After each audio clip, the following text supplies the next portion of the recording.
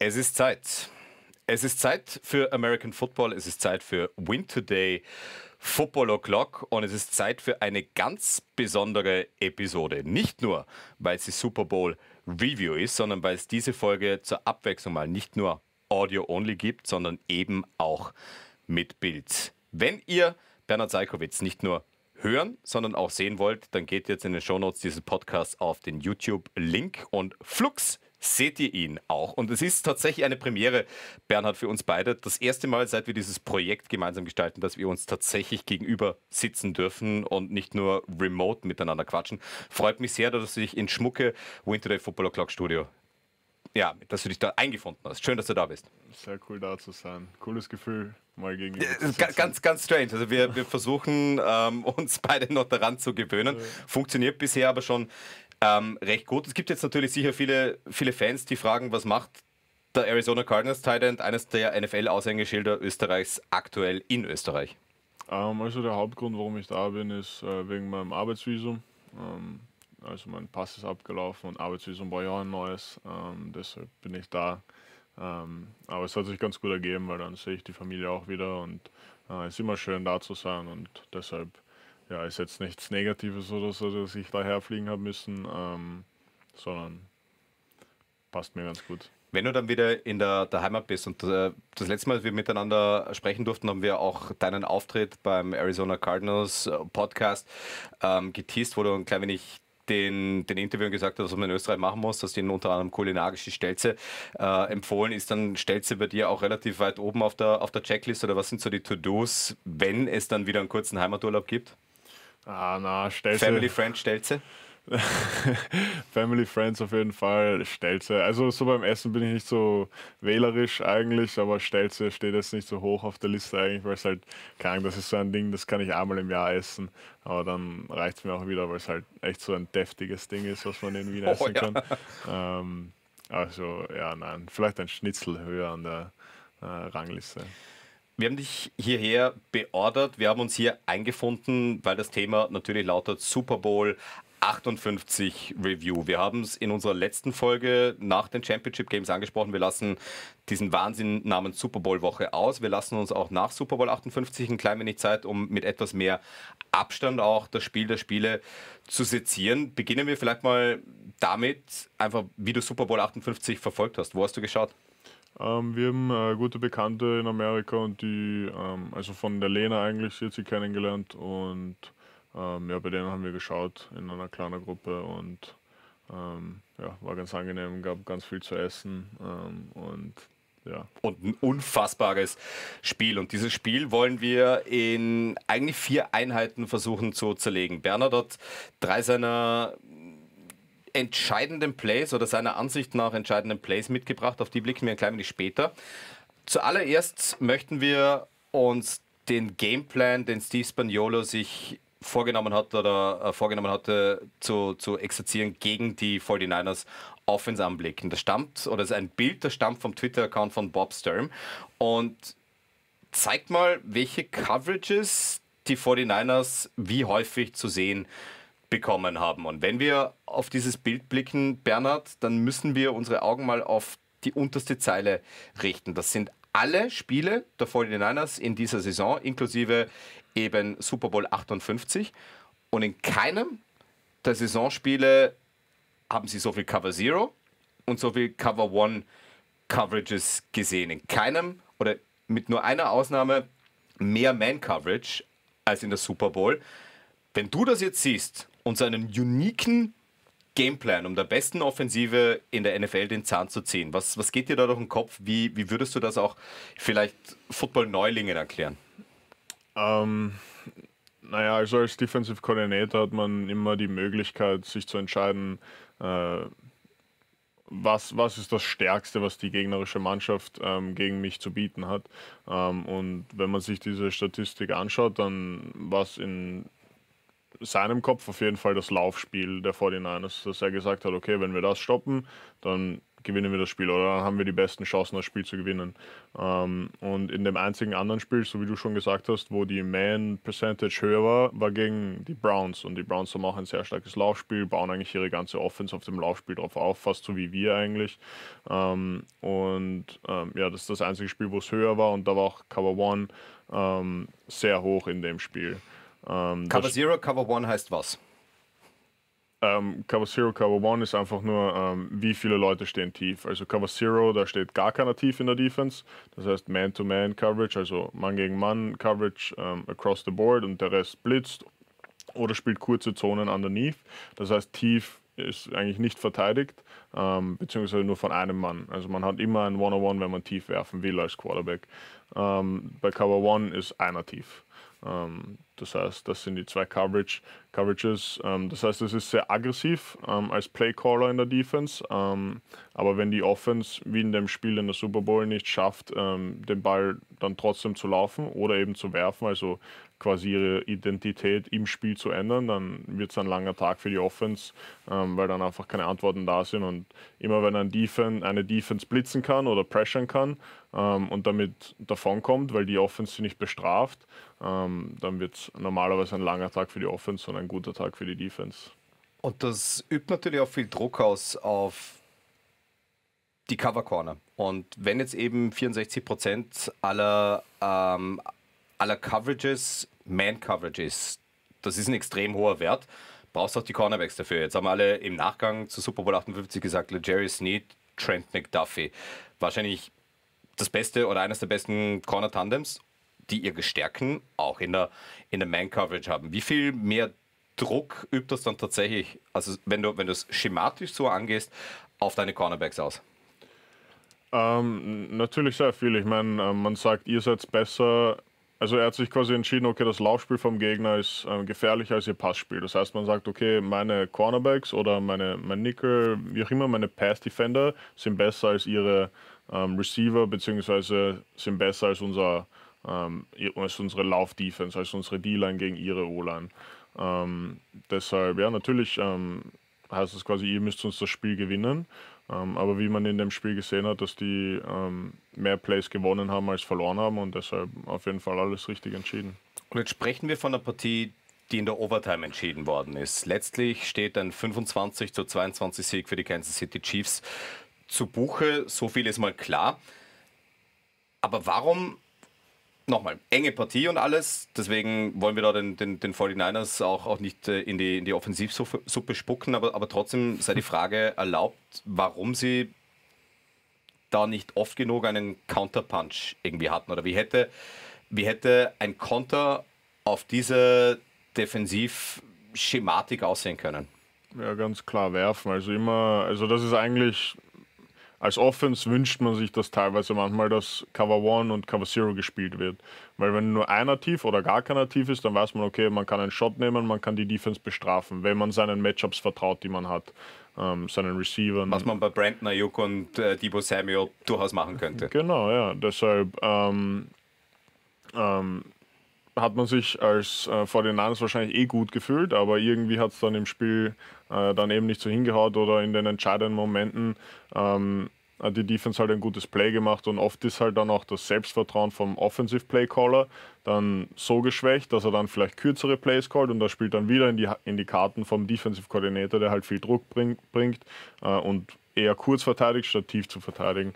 Ähm, und das ist dann oft so eine Todesspirale und wenn man da nicht schafft, Plays zu machen, als Quarterback hauptsächlich, äh, Leute zu finden, die offen sind, weil es gab offene Leute, aber oft hat er einfach nicht genug Zeit gehabt. Ähm, ja, dann wird es ein langer Tag meistens. Wir haben schon angesprochen, wir wollen drei entscheidende Plays ein klein wenig sezieren. Bevor wir dazu kommen, möchte ich mit dir über drei vorentscheidende Sequenzen in regulärer Spielzeit auch sprechen. Und da sind wir wahrscheinlich beim Muff Punch schon angelangt, der letztlich dann zum ersten Touchdown der Kansas City Chiefs geführt hat. War lange ein Defensivbattle, erst mhm. das zehnte Endspiel, in dem im ersten Viertel keine Punkte erzielt worden sind. Klassisches Seesaw Battle und dann gibt Kansas City den Ball ab, geht einem Vorblocker des Returners an den Knöchel. Der Returner versucht ihn noch einzufangen. Chief ist schneller. Ganz üble Sequenz und nur ein Play später ist Kansas City dann mit dem Touchdown on the board. Wie brutal sind solche Muff Punts, sind solche. Also eigentlich gibt es ja den Wechsel der Possession. Und auf mhm. einmal hat dann die Mannschaft, die gerade den Ball abgegeben hat, ihn erst wieder. Wie brutal ist das dann auch für eine Mannschaft an der Seitenlinie? Ja, sehr. Also ich meine, wie moralisch ähm, äh, entmutigend das ist. Es war ja noch nicht so, im, so spät im Spiel, deshalb, ähm, das weiß ich jetzt nicht genau, da kann man nie so wirklich sagen von weit weg, aber es ist natürlich ähm, ein Bummer und ähm, die Leute werden sich, ah, was macht sie denn da? Weil die Defense kommt gerade runter vom Feld gegen eine gute Offense, hat gute Arbeit geleistet und dann passiert so ein dummer Fehler eigentlich, wo jeder weiß, okay, ja, wenn der Ball nicht gefangen wird, dann geh weg vom Ball und wahrscheinlich wurde es auch kommuniziert, geh weg, geh weg, aber er ist halt nicht schnell genug weggekommen und der hat den gerade noch berührt und ähm, aber im Endeffekt ist es dann statt, dass du das viel flippst oder halt den Ball da hinten bekommst, ähm, kriegen die Gegner den Ball halt wieder da vorne und haben einen kurzen Weg zur Endzone und ähm, ja, ist wahrscheinlich genauso schlimm, wie wenn du, nachdem den Ball fängst, nach einem Kickoff oder so auf deinen eigenen 20, ähm, den Ball dann fummelst. Ist wahrscheinlich genauso schlimm und ähm, ja, ist natürlich ein, ist, ist schlecht einfach. Ähm, und Turnovers in so großen Spielen sind immer ähm, etwas, was man vermeiden will. Und über das Turnover-Battle haben wir auch schon oft geredet. Ähm, deshalb, ja. Und wenn man dann halt so ein kurzes Feld gegen Mahomes, immer schwer.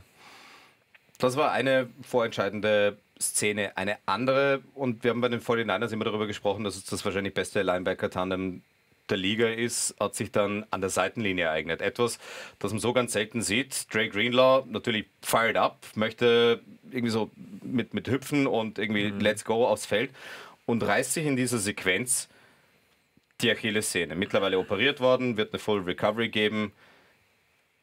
Was geht dir da durch den Kopf, wenn, oder als du das gesehen hast, wie ist es dir ergangen?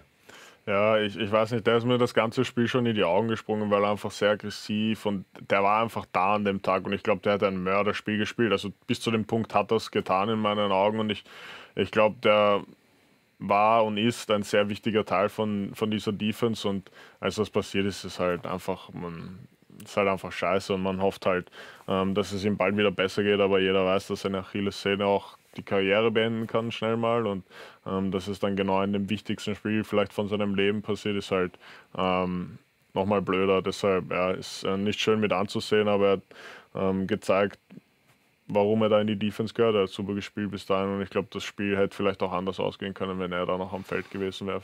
Das war der zweite Miscue. Muff Punt, dann der Starlinebacker, der sich die Achillessehne non-contact überhaupt nicht einmal im Spiel reißt und dann der vergebene Extrapunkt von Jake Moody, der dazu geführt hat, dass Kansas City die Partie überhaupt erst vor dem Ende ausgleichen konnte und nicht mit vier Punkten im Rückstand war, auf den Touchdown hat gehen müssen. Mhm. Zu geblockte Extrapunkte kommen immer wieder vor. Klar, mittlerweile ist es kein Chipshot Field Goal mehr von der 2, sondern mhm. es ist ein 33 Yard Field Goal, das man, das man machen muss, als Jake Moody das nicht verwertet, beziehungsweise der Kick geblockt wird. Was war deine Reaktion? Ja, in dem Moment haben äh, die sich wahrscheinlich auch gedacht, ah, ist wahrscheinlich gar nicht so schlimm, aber ähm, jeder Coach weiß wahrscheinlich, dass es einfach auf den einen Punkt dann wahrscheinlich drauf ankommen wird. Das ist irgendwie so schlechtes Karma, so wenn man den einen Punkt nicht macht, dann kommt es wahrscheinlich genau auf diesen einen Punkt drauf an. Ähm, ja, ich meine, im Nachhinein kann man nie sagen, vielleicht hätten die Chiefs dann halt einfach einen Touchdown gemacht und dann wäre das Spiel so oder so vorbei gewesen und wäre nicht in die Overtime gegangen. Ähm, und vor allem wahrscheinlich hätte man Mahomes eh auch zugetraut, hätte er gewusst, dass er einen Touchdown braucht, dass sie es irgendwie genau, herbeigeführt ja. hätten. Das ist dann viel, viel hätte, hätte die Waage tatsächlich. Aber du hast natürlich bei den Arizona Cardinals auch den, den großen Vorteil gehabt, mit Matt Prater mhm. einen sehr, sehr sicheren ähm, Kicker zu haben. Deswegen Jake Moody, Rookie-Kicker, ja, vergebene Extrapunkte können vorkommen. Super Bowl ist dann natürlich ein schlechter Zeitpunkt, um das tatsächlich zu machen. Bevor wir zu den drei Plays kommen, die du uns mitgebracht hast, die wir dann auch mit, mit Bildern euch illustrieren können, geht es natürlich auch um die Overtime. Als das Spiel dann eben mit 19 zu 19 in die Verlängerung gegangen ist, gab es bei den deutschsprachigen Kommentatoren ähm, offenbar noch nicht so wirklich das volle Regelverständnis, was sich da auch aufgrund der Kansas City Chiefs, muss man ja dazu sagen, regeltechnisch verändert hatte. War dann auch spannend, dass die Kansas City Chiefs die ersten Nutznießer dieser, dieser neuen OT-Regel sind. Mhm. Und bei den 49ers haben es viele Spieler nicht gewusst. Kyle Shanahan hat sein Ich will den Ball damit argumentiert, dass er auf die dritte Possession aus ist. Chris Jones von den Kansas City Chiefs hat gesagt, uns wurde schon im Training Camp eingetrichtert, was die Regeln sind und wir hätten so oder so die zweite Possession haben wollen, weil wir dann wissen, was wir matchen müssen, um dann auch bei einem etwaigen Touchdown auf eine Two-Point-Conversion zu gehen. Wie war das bei den Cardinals? Wusstet ihr, was die OT-Regel ist in den Playoffs?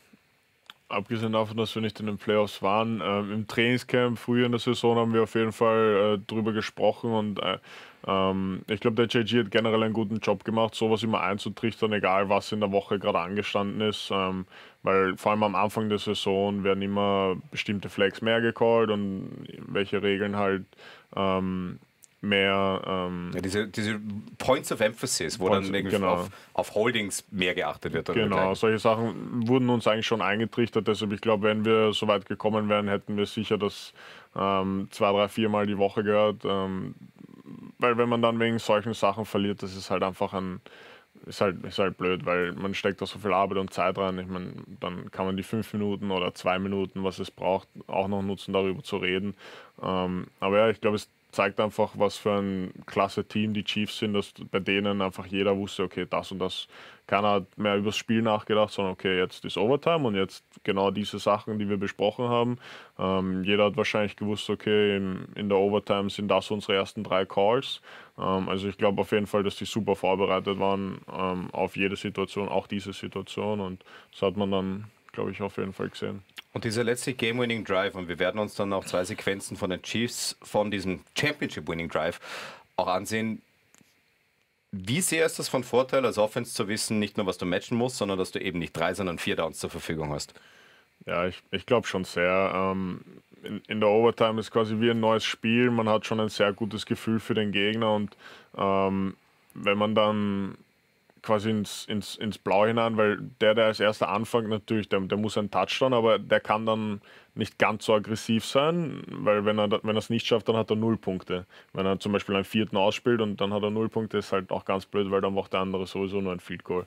Ähm, deshalb, wenn man als Zweiter geht und man weiß, okay, Field Goal Ausgleich, aber Touchdown wäre noch besser, ähm, dann kann man sich selber entscheiden, wie aggressiv man sein will, ob man eben nochmal fürs Dritte gehen will, ähm, für noch einen Ballwechsel oder lieber gleich beenden. Ähm, deshalb, ich glaube auf jeden Fall, dass das eine gute Entscheidung gewesen wäre, zu deferen, wenn man die 49ers gewesen wäre.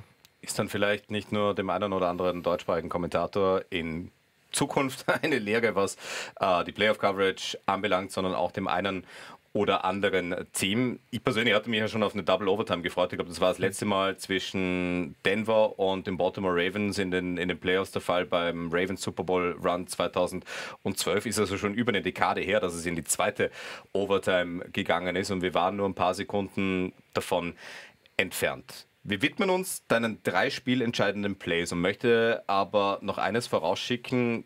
Vielleicht blickt ihr nochmal in die Shownotes dieses Podcasts. Da werden zwei weitere Links auf euch warten, denn im Dezember durften Bernhard Seikowitz, Chris Kaleke und ich ein klein wenig über Concepts philosophieren. Chris Kaleke ist eines Zeichens höchst erfolgreicher, schon fast dynastischer Coach der Vienna Vikings und wir haben über Man-Beating Concepts und über Zone-Beating Concepts gesprochen. Beide Folgen findet ihr auch in den Show Notes verlinkt. Vielleicht auch die dann einfach zu Gemüte führen, um noch mehr zu verifizieren, was für ein Access and O's Guy mir jetzt gegenüber sitzt. Äh, Bernhard, du, du kennst ähm, die Liga und die Materie in- und auswendig und hast doch sofort gesagt, es gibt drei Plays, auf die du unbedingt eingehen möchtest. Und das erste Play führt uns in die Overtime. Der erste Overtime Drive der San Francisco 49ers. Es ist Dritter und Vier an der Kansas City 9. Und beginnen wir vielleicht mal bei der, bei der Formation beziehungsweise bei der Nummer 23 im rechten Slot aufgestellt, Christian McCaffrey. Was ist das für eine Formation? Und welche Motion werden wir dann sehen?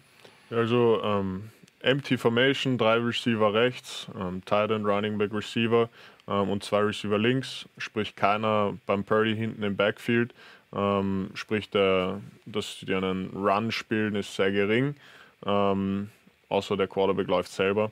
Ähm, und dann eben Nummer 23, Christian McCaffrey, wird rüber ähm, in Motion gehen, wird aber nicht stehen bleiben, sondern wird beim Quarterback einfach vorbeilaufen und ähm, das Handoff faken. Ähm, und ja, dann kommen wir, glaube ich, zum nächsten Bild. Genau, da sieht man schon, der Snap ist erfolgt. Brock Purdy hat den Ball und McCaffrey ist durch diese Motion schon an ihm vorbeigegangen, ist jetzt zu Brock Purdys Linken. Genau. Und da ist mal die, die Frage, in welcher Welt oder was muss passieren, dass Christian McCaffrey da auch zur Anspielstation werden könnte? Ja, also in dem ganzen Play die Hauptstory ist eigentlich die Protection und eben die, die Motion. Natürlich hilft dem Purdy zu sehen und den Receivern zu sehen, ähm, was für eine Coverage wird wahrscheinlich gespielt. Ähm, aber sie hilft in dem Fall auch mit der Play-Action gemeinsam den D-End, den wir hier links ein bisschen sehen, äh, gegenüber von äh, Christian McCaffrey eben zu halten und der Nummer 64 genug Zeit zu geben, ähm, hinter der Line zu pullen und ihn zu blocken. Ähm, man pullt ihn, um die Play-Action noch ein bisschen stärker wirken zu lassen, um die Defense nach vorne zu ziehen.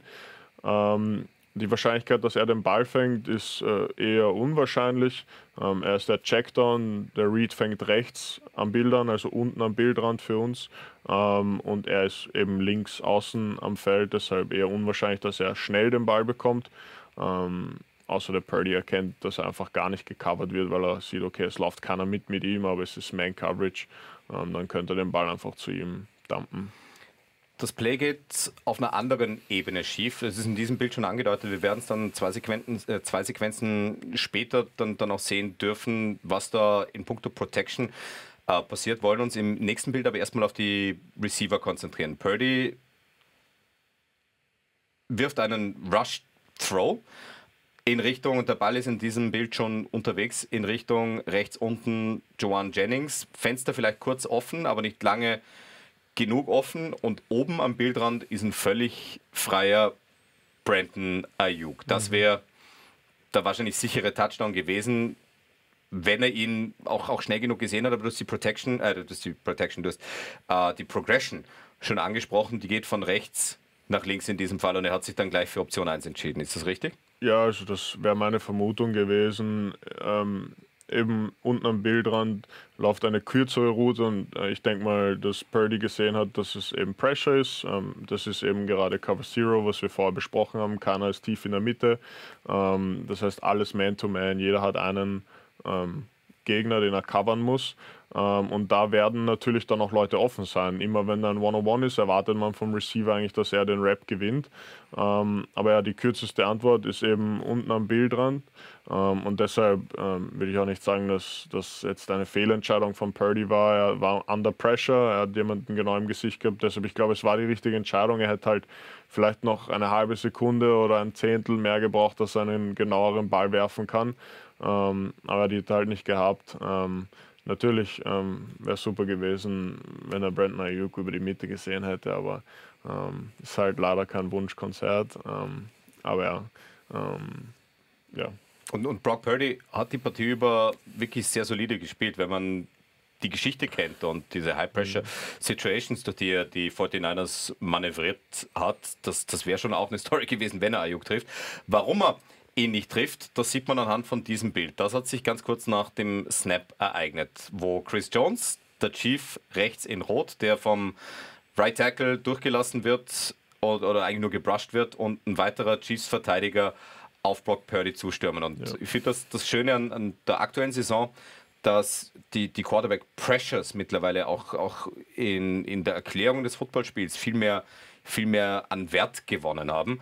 Wenn da mal locker flockig mit Chris Jones und dem zweiten Schiffspieler 250 oder 230 Kilogramm Lebendgewicht auf dich zupreschen und deren einziger Job ist, dich umzunieten, da geht es da als Quarterback wahrscheinlich schon mal anders und das führt dann eben auch zu diesen Rush Throws. Was ist bei diesem Spielzug, bei dieser Protection falsch gelaufen, außer alles? ähm, ja, also ähm, natürlich könnte man jetzt natürlich argumentieren, dass das ganze Spiel läuft ja schon. Es ist, wir wissen, wir haben vorher gesagt, okay, wir wissen jetzt, was die voneinander, ähm, was die Coaches quasi, was der Gameplan ist.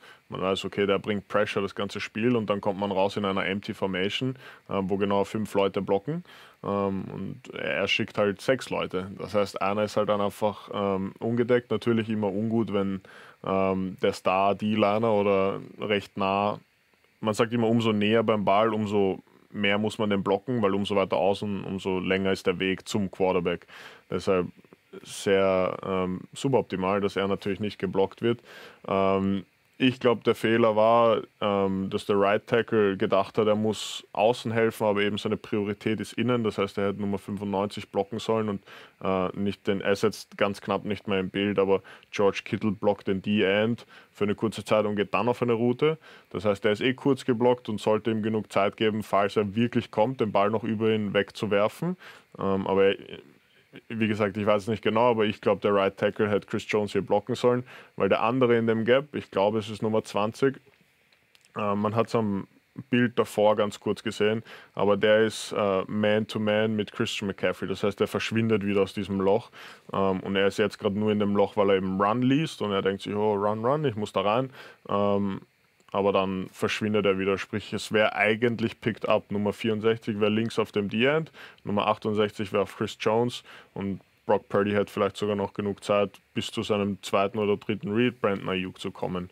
Ähm, aber ja, soweit kommt es nie, weil keiner Nummer 95 blockt. Und das eben auch das Faszinierende an Football, diese, diese vielen, vielen Duelle innerhalb des Duells und Spielzugs und Verantwortlichkeiten und braucht dann eben nur einen falschen Read, eine falsche Interpretation des Ganzen und everything blows up. Was genau in dieser Sequenz dann auch passiert ist, die 49ers entscheiden sich dazu, ein Field Goal zu schießen und nicht auf Vierter und Vier zu gehen und dementsprechend war dann im nächsten Drive den Kansas City Chiefs klar, ein Field Goal löst tatsächlich eine dritte Possession aus, aber ein Touchdown gewinnt uns das Ding. Und die Chiefs gehen, so viel ist bekannt, dann in Richtung Championship Winning Drive. Haben aber früh, und das bringt uns zum nächsten Play, im Drive einen vierten und eins an der eigenen 34. Da sind wir dann auch wieder bei der taktischen Herangehensweise. Du weißt, du hast alle vier Versuche zur Verfügung und kannst das entsprechend dann auch ausspielen. Und dieses Play ist insofern spannend. Du brauchst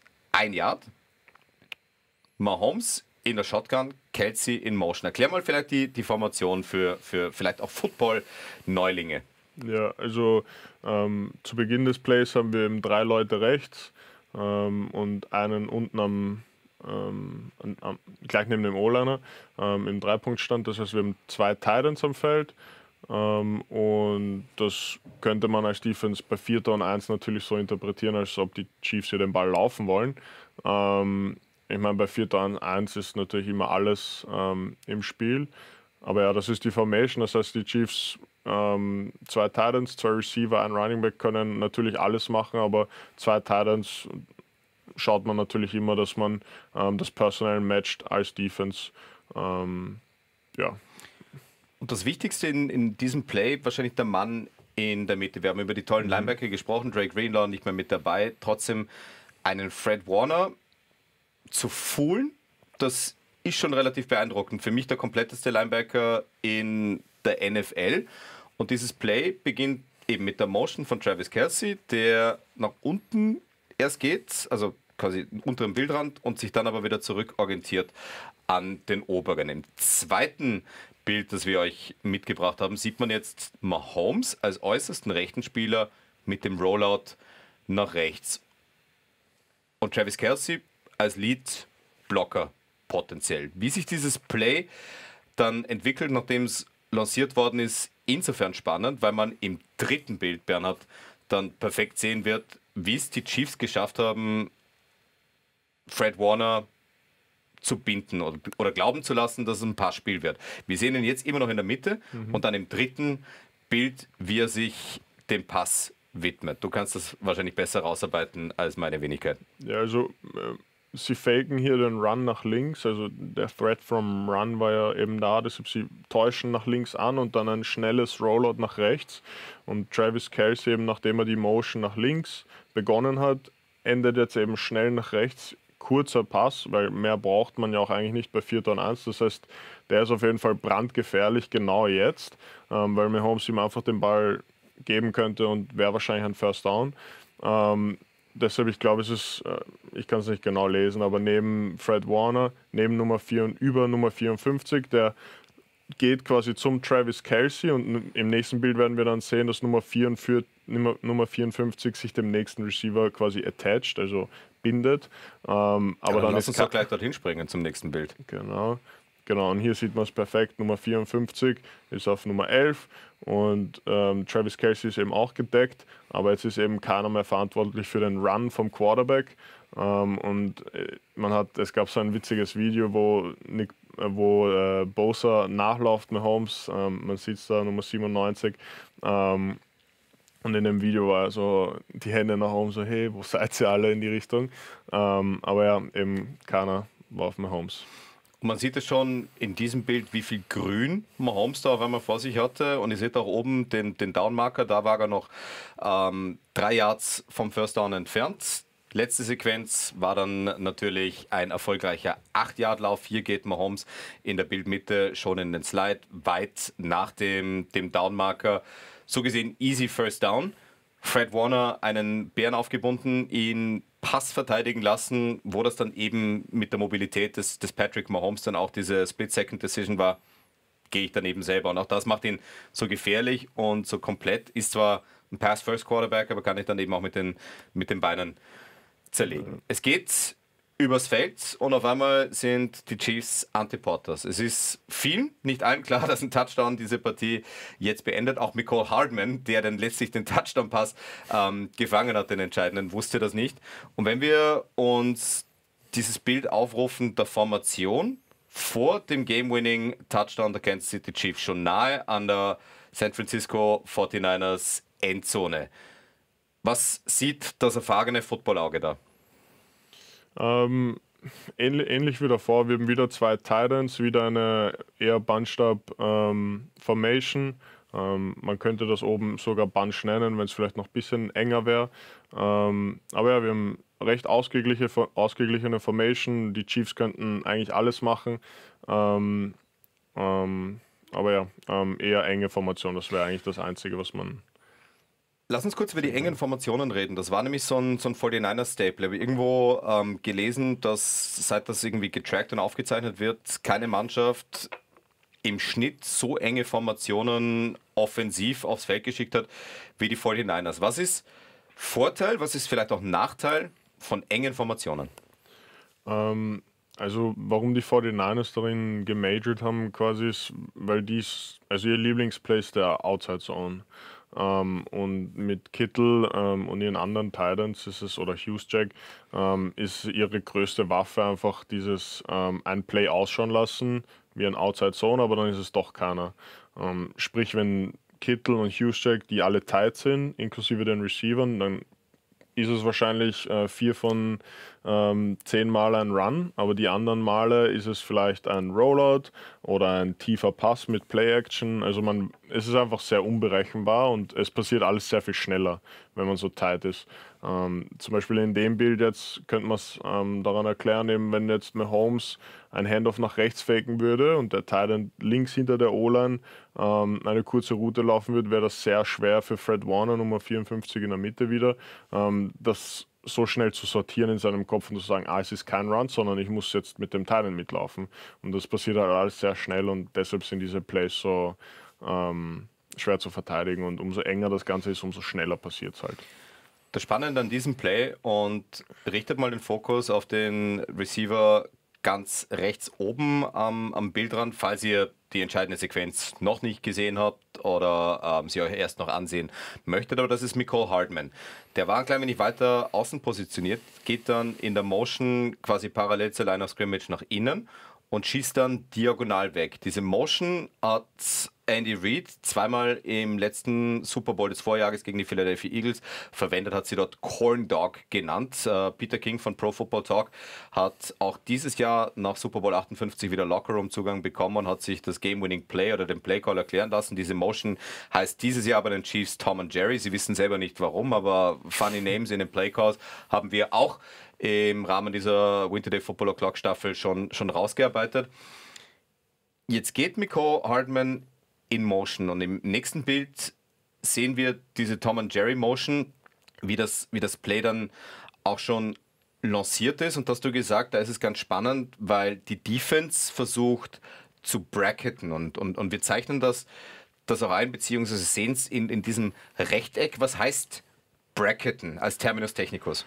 Ähm, also immer wenn die, ich, ich versuche es ein bisschen ausgreifender zu erklären, also immer wenn die Offense in diesen engen Formation eben sind, also wie die drei Receiver oben ähm, im Bild, ähm, dann ist es sehr schwer, normale Manndeckung oder normale Zonenverteidigung zu spielen, weil man, vor allem wenn man so nah an der Endzone ist, zwar eng an denen dran sein muss, weil man nicht wirklich Yards hergeben kann, ähm, aber man will auch nicht gepickt werden, wenn zwei sich kreuzen, zwei Receiver sich kreuzen. Man will nicht äh, von dem Receiver abfallen, äh, während man ihn deckt.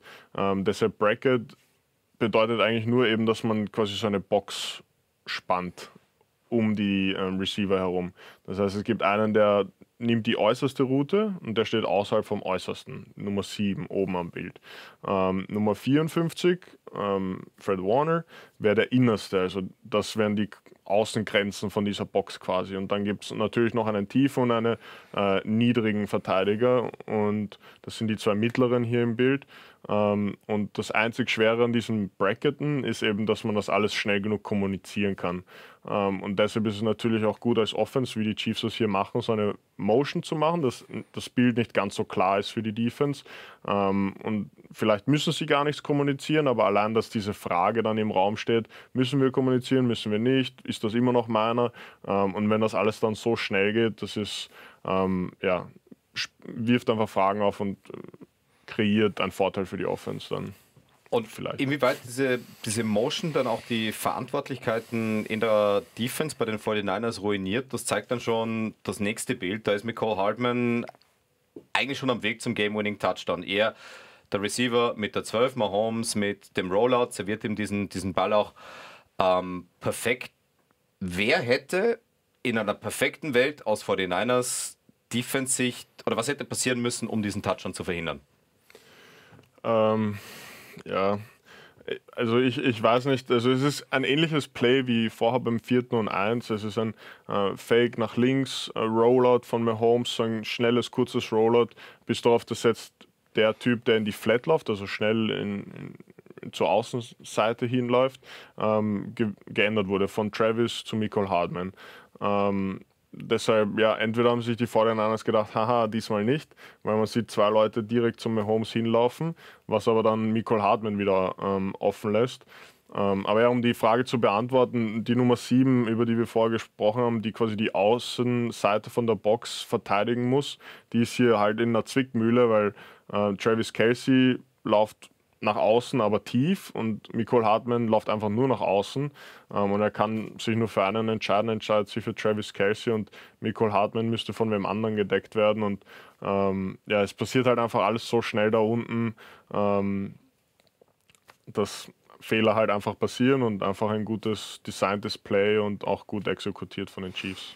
Man sieht es dann auch im, im letzten Bild, als das Ganze für die Chiefs dann schon fast eingetötet ist. Das Beste an diesem Play an sich und dann auch am, am letzten Bild, wo man es noch nicht ganz sieht, Travis Kelsey, der ab am gewissen Zeitpunkt schon wusste, was jetzt passiert und, und dann einfach irgendwann, ich glaube noch vor Nicole Hartman in der Endzone war, Hände hochgerissen hat, weil er schon am Big Screen gesehen hat, dass das funktionieren wird. Inwieweit haben wir auch bei diesem letzten Drive von, von Andy Reid und den Offensive Coaches auch wieder so eine, so eine Playdesign-Klinik gesehen? Inwieweit ist das was, wo dir dann irgendwie zu der Laden runterhängt und du sagst, Wahnsinn, wie soll man das verteidigen? Ja, ich, ich glaube schon. Also vor allem, ich meine, early im Game war es sehr ausgeglichen, was die Defense betrifft, aber ich, ich, ich glaube, die 49ers hatten einfach das bessere Team am Papier und ähm, immer wenn das bessere Team dann verliert, denke ich, dass man das wahrscheinlich auf Coaching zurückführen muss. Ähm, außer sie hatten einfach so einen schlechten Tag, was sie aber nicht hatten. Ähm, deshalb, ja, ich glaube, die Chiefs haben einfach an dem Tag einen besseren Gameplan gehabt und ähm, den auch sehr gut exekutiert. Ähm, und sie haben natürlich Patrick Mahomes und der ist an jedem Tag schwer zu verteidigen und ähm, ja. Gratulation an die Kansas City Chiefs. Eigentlich absurd, wenn man sich zu Gemüte führt, dass sie vor zwei Jahren Tyreek Hill, den für uns wahrscheinlich immer noch besten Receiver in der NFL abgegeben haben, seither zweifach Super Bowl äh, auch sind. Und diese Defense, die Steve Spagnolo da gebaut hat, die ist schon außerordentlich. Nur ein einziges Mal in der gesamten Saison 25 oder mehr Punkte gegen einen Gegner zugelassen. Alles andere, auch die äh, explosiven 49ers unter 25 Punkten gehalten und das war natürlich auch einer der Schlüssel zum Super Bowl-Sieg. Wir klappen quasi das Buch mit der Super Bowl 58 Review zur Saison 2023 ein klein wenig zu und blicken in die Offseason, denn diese Folge markiert auch das Ende von Staffel 1 von Winter Day Football O'Clock und deswegen habe ich dir auch gebeten, vielleicht mal so ein klein wenig den Blick in die Glaskugel zu werfen, was so drei wichtige, dominante Themen in der Offseason werden könnte. Was hast du denn alles mitgebracht? Was ist so Thema Nummer eins, das dich beschäftigen wird, wo du glaubst, dass es auch die Liga und auch die, die Berichterstattung drumherum beschäftigen wird?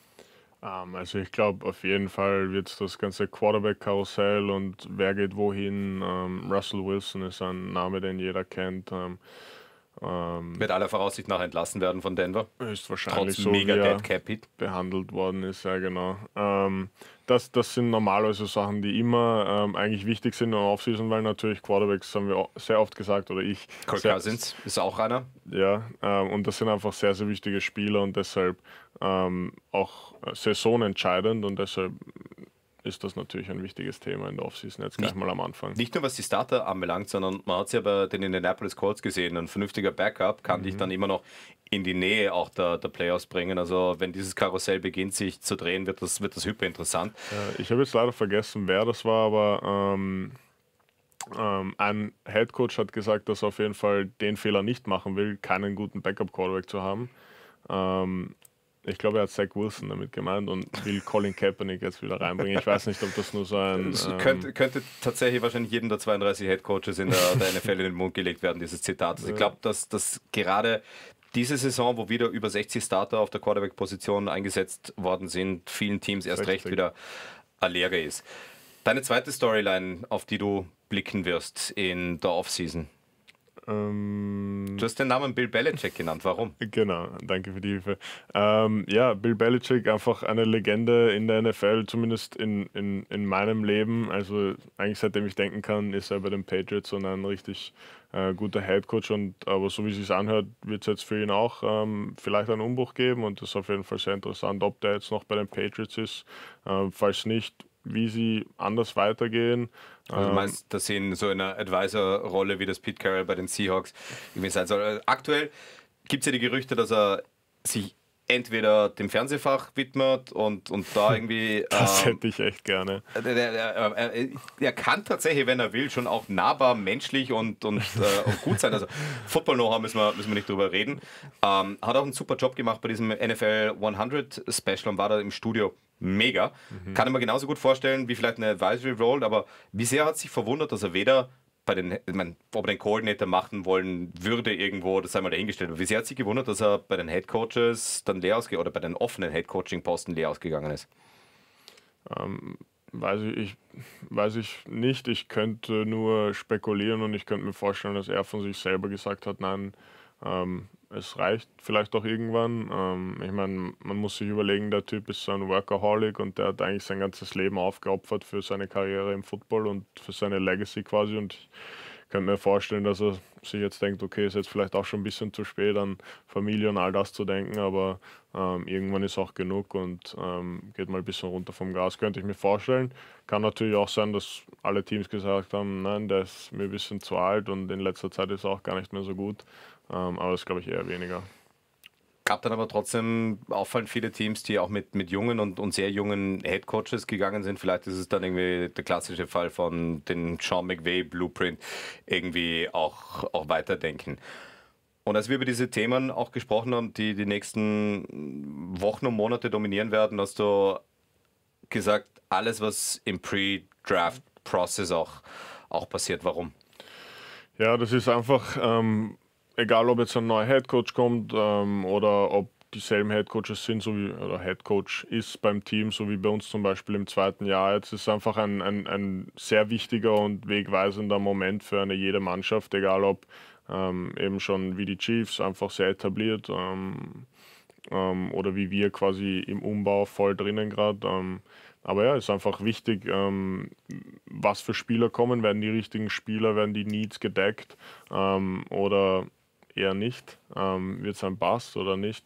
Ähm, das kann natürlich die Zukunft von Vereinen entscheiden, ob Coaches ihren Job behalten oder nicht, ähm, ob GMs gefeuert werden oder nicht. Deshalb ähm, das ist auf jeden Fall ein Riesenthema. Ähm, bei uns speziell jetzt zum Beispiel, ähm, wir haben sehr viele Draft-Picks. Ähm, werden wir Fünf in den Top 100. Zwei First-Round-Picks, zwei Third-Round-Picks, ein Second-Round-Pick. Wie ja. richtungsweisend ist die Offseason, ist der Draft für die Cardinals?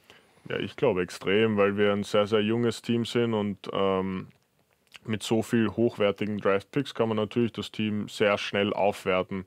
Ähm, weil natürlich vor allem von First-Round-Draft-Picks erwartet wird, dass sie Instant-Starter sind, dass du sie einfach reingeben kannst und die können spielen natürlich mit bisschen Growing Pains, aber nicht so sehr wie ein Fifth und, und, oder und, dann, und dann wiederum war Paris Johnson letztes Jahr Fill-in Right Tackle, Day One Starter, dem du nicht angemerkt hättest oder die meiste Zeit über nicht angemerkt hättest, dass er ein Rookie ja, ist. Also. Teilweise besser ausgeschaut als manche anderen Veterans. Ähm, ja, voll. Also das wäre natürlich ein, ist natürlich ein super Draft-Pick. Das ist die äh, wie sich jeder wünscht, dass es funktioniert. Äh, funktioniert immer so. Deshalb ich bin auf jeden Fall sehr gespannt, wie bei uns das jetzt ähm, da von Danne läuft. Ähm, ähm, ja.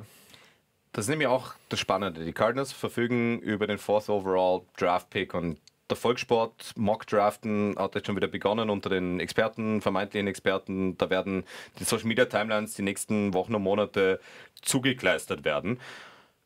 Und wenn man dann aber vielleicht aus seriöseren Quellen vertraut und es ist eine Quarterback-Liga und jeder wird versuchen, sich, wenn er kann, einen Quarterback zu holen. Es gibt zwei klare Blue-Chipper, so hofft man, gut, das war sehr kurz und vielleicht auch irgendwann mal, aber es gibt zwei Quarterbacks, die schon lange mit äh, äh Drake May und, und, und Caleb Williams an 1 und 2, in welcher Reihenfolge auch immer, gemockt werden. Jaden Dennis und die Patriots werden immer öfter miteinander in Verbindung gebracht und wenn nicht, dann dass trotzdem Quarterbacks 1, 2 und 3 gehen.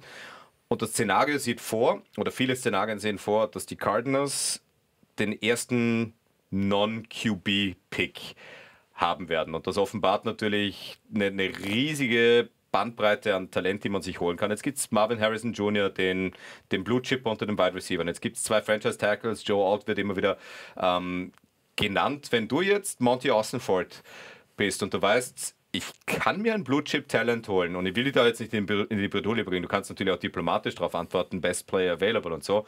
Aber würdest du lieber Receiver-Hilfe bei den Cardinals sehen, lieber vielleicht den Bookend Tackle zu Paris Johnson machen, damit man auf die nächsten zehn Jahre dort irgendwie nichts mehr machen muss? Oder würdest du eine ganz andere Position priorisieren? Ähm, abgesehen davon, also zwei Antworten ich persönlich glaube, würde immer den Big Man nehmen früh, weil ich glaube, dass das einfach das Wichtigste im Football ist. Also egal ob die D-Liner oder O-Liner, ich würde glaube ich immer einen Big Man nehmen, außer ich brauche halt einfach wirklich keinen oder das Talent ist einfach so Reggie Bush oder so, keine Ahnung. Ja, dann nehme ich dieses riesige Talent. Aber sonst würde ich eben immer Big Man nehmen, glaube ich. Ähm, und auch so wie ich jetzt die letzten Jahre bei den Cardinals miterlebt habe, da haben wir gefühlt immer Skill-Player genommen, ähm, die dann aber sich oft schwer zu, zu, zu translaten, weil egal wie gut der Receiver ist, du musst ihm trotzdem den Ball geben, du musst ihm vielleicht ein bisschen schemen. Ähm, deshalb ja, ist es ein bisschen schwerer, den quasi erfolgreich als Spieler dann zu haben, als wie ein Tackle, weil der Tackle, der muss jedes Play blocken ähm, und wenn er das gut macht, dann ist ein guter Tackle, ein guter Draft-Pick. Beim D-Liner dasselbe. Der kann jedes Play zeigen, dass er einen Sack macht oder einen Tackle for Loss. Ähm, du musst ihn einfach nur oft genug aufs Feld stellen. Ähm, aber beim Receiver, da gehört einfach mehr dazu, dass er dann quasi eine erfolgreiche Saison hat oder gut ins System reinpasst. Ähm, ist ein bisschen schwerer, denke ich, zu translaten und deshalb glaube ich, würde ich da nicht meine Top, Top, Top Draft Picks dafür verwenden, außer es ist halt wirklich ein so ein Talent, wo man sagt, okay, da kann ich einfach nicht anders. Wir haben dieses Jahr viel über die Lions gesprochen und ob sie legit sind. Der erste Pick, der Ärger Dan Campbell bei den Detroit Lions und diesem Wiederaufbaujob. Panay Sewell, einer der besten Right Tackle der NFL. Wenn du sowas bekommen kannst und wenn wir auch wieder auf die Chiefs blicken, die mit äh, Marcus Valdez-Scantling, ähm, Kadarius Tony hat den Super Bowl jetzt nicht gespielt, äh, Nicole Hartman auf, auf Receiver dann trotzdem das Endspiel gewinnst, dann zeigt er schon, dass es nicht unbedingt auf die Qualität der Receiver ankommt, sondern auf den QB und wie ja. gut er beschützt wird. Aber wenn es jetzt in die Offseason geht, äh, geht oder in die Offseason auch gegangen ist, du hast einen kurzen Österreich-Urlaub, wie, wie verläuft jetzt der Rest, bis es dann nach dem Draft auch ins erste Minicamp geht für dich? Ähm, ja, also hier ähm, oder in, in Amerika habe ich schon angefangen mit dem Team, ähm, wieder langsam rein und ähm, alles programmiert. Dasselbe Programm mache ich jetzt quasi weiter hier in Österreich. Ähm, aber es ist alles noch recht, recht langsam eigentlich. Ich fange jetzt langsam am Feld wieder an äh, zu sprinten und diese ganzen bisschen mehr Taxing-Sachen äh, für deinen Körper ähm, zu machen. Ähm, aber ja, alles schön langsam, dass man dann gut pieken kann, weil eigentlich will man im Trainingscamp dann pieken, um da eben seine Topleistung abzurufen und dann eben das Beste aus der Situation zu machen. Ähm, aber ja, ich, ich freue mich auf die OTAs, auf die neuen. Ich äh, freue mich äh, auf die neuen Spieler, die beim Team sein werden. Es wird auf jeden Fall eine super interessante Situation und äh, ich glaube, viele haben High Hopes. Ähm, und ja, JG hat uns mit der Message ähm, entlassen, ähm, von wegen, dass das die letzte Saison sein wird, wo wir im Dezember keine wichtigen Spiele mehr spielen. Ähm, und Dezember slash Jänner. Ähm, aber ja, und ich denke, das ist irgendwie so das, das Ding im Team und ähm, das passt ganz gut. Deshalb nicht zu früh, zu eifrig oder nicht zu eifrig, aber zu feurig werden, dass man dann nicht ausbrennt bis dorthin, sondern schön langsam und dann passt das. Und das hört sich nach einem perfekten Plan an. Das heißt nämlich für uns auch ein klein wenig jetzt die erste Staffel zu konkludieren. Staffel 2 von Day Football O'Clock wird es definitiv geben. Wir wissen noch nicht genau, ob wir rund um die Free Agency oder vielleicht erst rund um den, den Draft dann auch wieder, wieder einsteigen. Es wird auf jeden Fall Dinge von dir auf die Ohren geben für die Hörerinnen und Hörer. Großer Dank an all diejenigen, die 2023, 2024 an dieser Stelle mit dabei waren und die vielen, vielen Stunden, die gehört worden sind. Ich hoffe, wir durften ein paar Einblicke liefern. Wir werden das auch in der zweiten Staffel machen. Einstweilen bleibt mir nur übrig, Danke zu sagen, dass du dich hierher ins Winter Day Studio eingefunden hast. Freue mich jetzt schon sehr auf Staffel 2 und wünsche dir am Weg dann hoffentlich auf den Active Roster der Arizona Cardinals alles Gute. Danke fürs hier sein, Bernhard. Vielen Dank. Super, super Weg, die erste Staffel quasi zu beenden hier in Person. Ähm, und auch dir vielen Dank. Ähm, hat mir super viel Spaß gemacht, war eine neue ähm, Sache für mich, aber hat mir sehr viel Spaß gemacht und ich freue mich auf Season 2 quasi. Wunderbar. Bester Weg, um hier das Ganze zu beenden. Danke für die Aufmerksamkeit.